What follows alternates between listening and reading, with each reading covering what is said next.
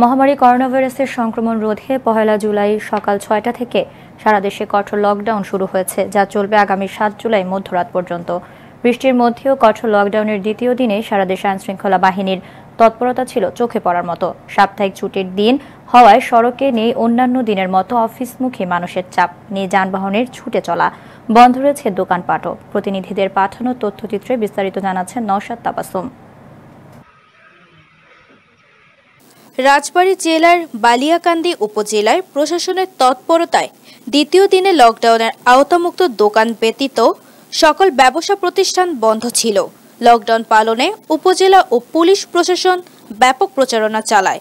Lockdown অমান্যকারীদের বিরুদ্ধে আইনগত ব্যবস্থা নিচ্ছে প্রশাসন।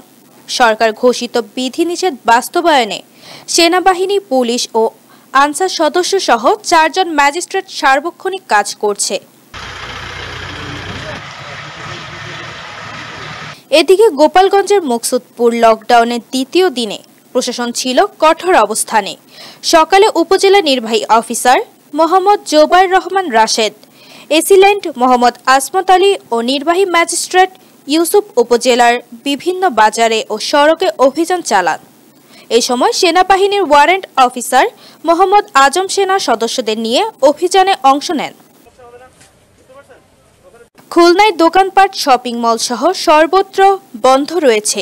সড়কে কোনো ধরনের যানবাহন চলাচল করতে দেওয়া হচ্ছে না। লকডাউন বাস্তবায়নে জেলা পুলিশের পক্ষ থেকে মোট ছাব্বিশটি চেকপোস্ট বসানো হয়েছে।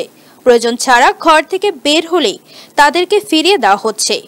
অপরদিকে লকডাউন অমান্যকারীদের বিরুদ্ধে ব্যবস্থা নেওয়ার জন্য নির্বাহী ম্যাজিস্ট্রেটের নেতৃত্বে পুলিশ ও বিজেপি দায়িত্ব পালন করছে। নওশাদ তাবাসুম সিএনএন বাংলা। খুলনায় বিভাগে গত চব্বিশ ঘন্টায় করোনা মৃত্যু হয়েছে। খুলনা স্টাফ রিপোর্টার একই সময়ে চারশো পঁচানব্বই জনের নমুনা পরীক্ষায় দুশো তেইশ জনের করোনা শনাক্ত হয়েছে।